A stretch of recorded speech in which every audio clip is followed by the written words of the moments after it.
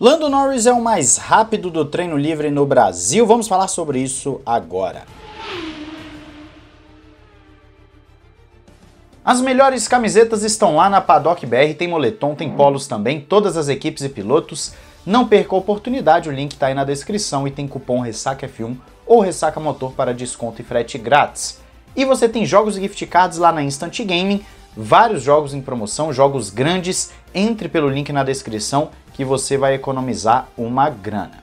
Olá, amigo do Ressaca Motor, seja bem-vindo a mais um vídeo. Eu sou Matheus Pucci. Vamos começar falando de algumas notícias aqui antes de falarmos de treino livre. Primeiro, que a VCarb deve mudar de nome de novo para 2025. De acordo com matéria do Racing News 365, a Red Bull está vendo se muda o nome da equipe para apenas Racing Bulls. Lembrando que o nome atual tem um RB ali no final, mas que na descrição do nome, na, no registro do nome, não tem esse Racing Bulls. Então o Racing Bulls fica, digamos, implícito. Agora você teria o nome oficialmente sendo Racing Bulls. O que dá para ver claramente que eles não sabem o que fazer com essa equipe. E também tem que ver como fica o patrocínio da Visa Cash App, ou da Visa e da Cash App no caso, porque elas pagam muita grana para ter o nome exposto dessa forma.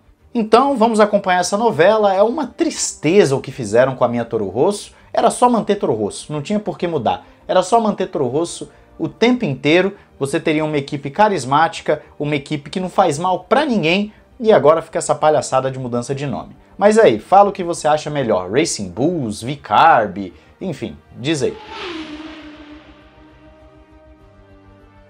Vamos falar sobre Bortoleto? Pois é, semana de Grande Prêmio do Brasil e a gente fica na expectativa de algum anúncio, alguma coisa assim. E o Grande Prêmio, que está acompanhando muito de perto o caso do Bortoleto, afirmou em matéria, você confere na descrição, que o brasileiro está se desvinculando da McLaren. Isso mesmo que você ouviu. Como a McLaren seria um problema, seria um empecilho para o brasileiro conseguir a vaga na Audi, ele estaria se desvinculando da McLaren para poder então estar na Audi em 25 ou no máximo 26. O grande problema entre McLaren e Audi era o tempo de acordo, já que a Audi queria um tempo maior, pelo menos aí uns 4 anos, enquanto a McLaren aceitava liberar por apenas dois. A McLaren tentando se proteger, já que o Bortoleto teria impressionado a equipe nos seus testes e também a performance na Fórmula 2, e aí ele ficaria já ali no radar da McLaren para entrar no lugar de Piastri ou Norris, caso um dos dois seja pescado por outra equipe. Tem muita conversa de que a Red Bull estaria de olho em um dos dois pilotos, né? Qualquer um dos dois no caso. Então o brasileiro pode estar muito próximo do grid de 2025 ou 26. A gente vai torcer para que ele consiga um bom assento, né? A gente sempre quer que os brasileiros, não somente os brasileiros, os bons pilotos estejam nos melhores carros. E com o Bortoleto não é diferente. Eu sou contra aquele negócio do brasileiro tem que entrar a qualquer custo. Não, tem que entrar para ter um bom carro. E hoje em dia com essa Fórmula 1 que fica um pouquinho mais parelha, a Audi a gente tem que torcer para que no próximo regulamento tenha um bom carro, porque atualmente é o pior carro do grid. Tá triste de ver a Audi, mas o Bortoleto então estaria de volta à briga por esse assento. Vamos acompanhar toda essa história aí. Agora sim, falando de atualizações, nós temos apenas duas equipes atualizando para o Grande Prêmio do Brasil. A McLaren chega com uma asa traseira nova e também com uma atualização na asa de feixe, que é aquela asinha que fica abaixo da asa traseira. Então, McLaren com duas atualizações. E a outra equipe é a Stake, justamente a Sauber que nós estamos falando agora, que tem atualização na suspensão dianteira e na asa de feixe também.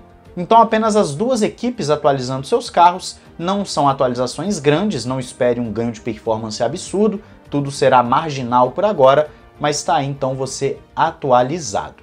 Passando para o TL, único TL, né? Temos sprint. Lando Norris foi o mais rápido, fez a sua melhor volta bem no finalzinho ali, no apagar das luzes, e foi uma sessão bem normal, nós não tivemos acidentes. Teve aquele tráfego normal, a pista é pequena, também dependendo da parte ali é estreita. Os pilotos atrapalhavam uns aos outros, mas isso é o normal de Interlagos, nada muito absurdo. Algumas escapadas de pista, também nada absurdo, e tivemos o Oli Berman substituindo o Magnussen. O Magnussen se sentiu mal, está passando um probleminha estomacal. O Alonso está correndo, né, que também estava com problema estomacal, está normalmente aí na pista. e o Magnussen então não deve correr amanhã. Isso porque, como o Berman entra no lugar do Magnussen para o qualifying hoje, sexta-feira, o Berman faz a sprint e aí se o Magnussen for correr, ele tem que fazer o quali amanhã, mas a sprint ele não pode fazer, ok? Pelo menos é o que eu entendi da regra. E aí nessa brincadeira o Berman ganha mais uma oportunidade para poder pegar a manha do carro, para poder ir se acostumando cada vez mais com a Fórmula 1, ele que vai estar tá nesse carro para o ano que vem.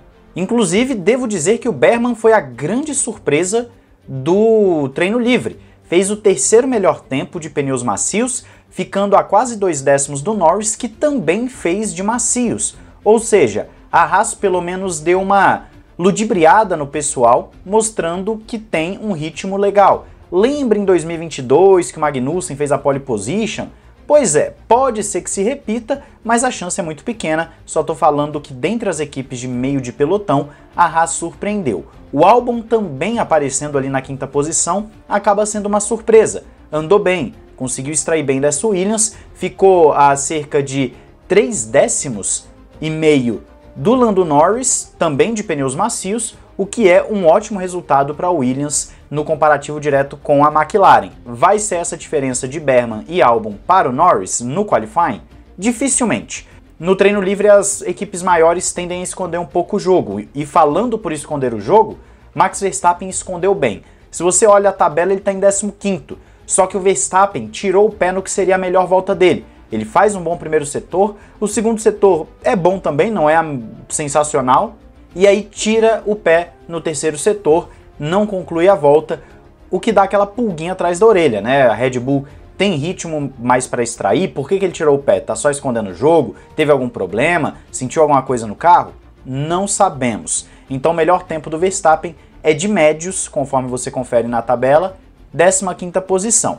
O Russell andou muito bem, ficou lá em segundo, o Hamilton já está bem mais para trás em 16º, o Hamilton pegou muito trânsito nesse treino livre, reclamou que o carro estava batendo demais, inclusive reclamou de dores, então a Mercedes deve alterar essa configuração para sprint. E de resto, nós não temos muito o que ficar observando. A Ferrari não imprimiu necessariamente um ritmo que se espera da equipe que chega como favorita. A McLaren está bem ali, o Piastri três décimos atrás do Norris. Então fica aquela incógnita, né? O que, que vai acontecer para o qualifying da sprint que teremos logo mais? Um qualifying mais enxuto, são 40 e poucos minutos. A pista está recapeada, o que é um ponto importante a ser dito. Algumas partes recapeadas, então ela está bem mais rápida. Inclusive, a volta mais rápida desse ano foi aí um segundo mais rápido que a do ano passado, do treino livre. Então a pista está muito mais rápida, algo parecido com o que vimos no México. Esses detalhes dão uma pimentada. O pneu também é uma gama mais macia que a Pirelli está colocando, uma gama mais agressiva. São temperos que nós temos para a próxima sessão de logo mais, que nós vamos trazer vídeo, obviamente, sobre o qualifying. Mas eu quero saber a sua opinião se você viu alguma coisa muito diferente nesse treino livre, se alguma coisa te chamou a atenção além ali, por exemplo, do Berman em terceiro. Fala aí nos comentários, não esqueça de se inscrever e ativar o sininho para não perder nada aqui no Ressaca Motor e, claro, entrar no nosso canal de cortes que tem muita coisa legal lá também. Um grande abraço, valeu e falou!